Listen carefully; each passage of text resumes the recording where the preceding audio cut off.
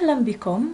قم بإيجاد احتمال سحب كرة صفراء من حقيبة تحتوي على ثلاث كرات صفراء كرتين حمراء وواحدة زرقاء.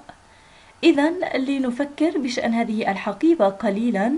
إنها تحتوي على ثلاث كرات صفراء لذا دعوني أرسمهم. لدينا واحد اثنان ثلاث كرات صفراء. ولدينا كرتين حمراوين كرتين حمراوين إذا لدينا واحد اثنان من الكرات الحمراء. على افتراض أنهم جميعهم مختلطين في الحقيبة لدينا كرتين خضراوان واحد اثنان من الكرات الخضراء ولدينا كرة واحدة زرقاء كرة واحدة زرقاء. ونريد معرفة احتمال سحب كرة صفراء. إذا نريد معرفة نريد معرفة ما هو احتمال P ما هو احتمال سحب كرة صفراء يلو ماربل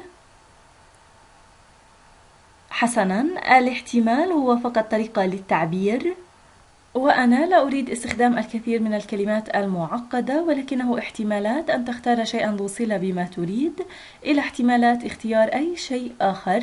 أو هناك طريقة أخرى تفكر بها هي عدد الاحتمالات التي يمكن أن تنتج في الاختبار.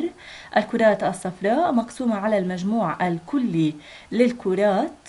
إذا كم طريقة لدينا؟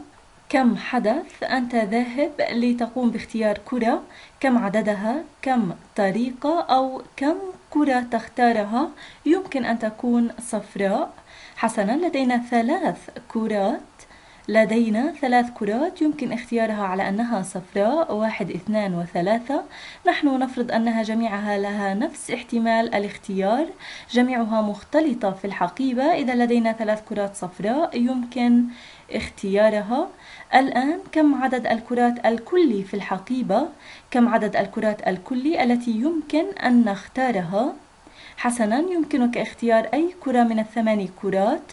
واحد اثنان ثلاثة أربعة خمسة ستة سبعة وثمانية.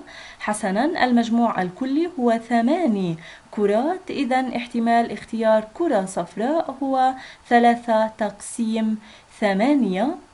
إذا لدينا فرصة ثلاثة تقسيم ثمانية لاختيار كرة صفراء وهذه طريقة لنفكر بها فقط. أريد أن أكرر أنها فقط عدد الاحتمالات. لدينا ثمانية احتمالات. لدينا ثمانية أشياء مختلفة يمكننا سحبها من الحقيبة. ثلاثة منها تحقق الشروط. ثلاثة منها ستكون كرة صفراء. وبهذا نكون قد انتهينا إلى اللقاء.